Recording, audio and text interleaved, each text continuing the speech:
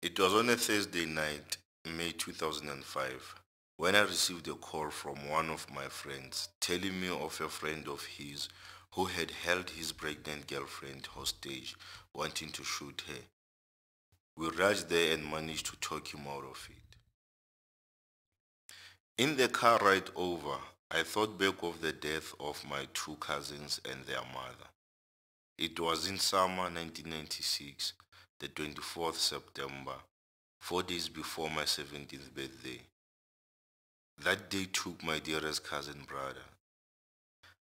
I had to come face to face with my loss the day I had to go and wash his corpse.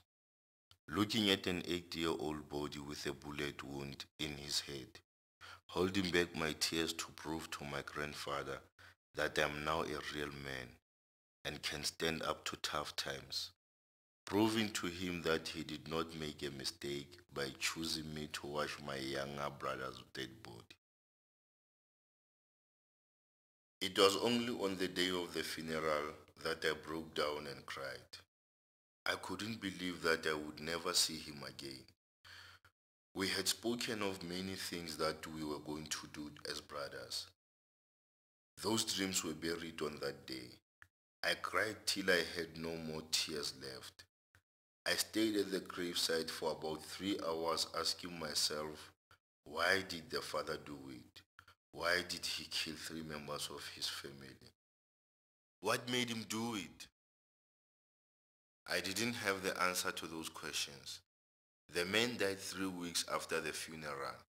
Even himself didn't get the chance to tell me why did he do it.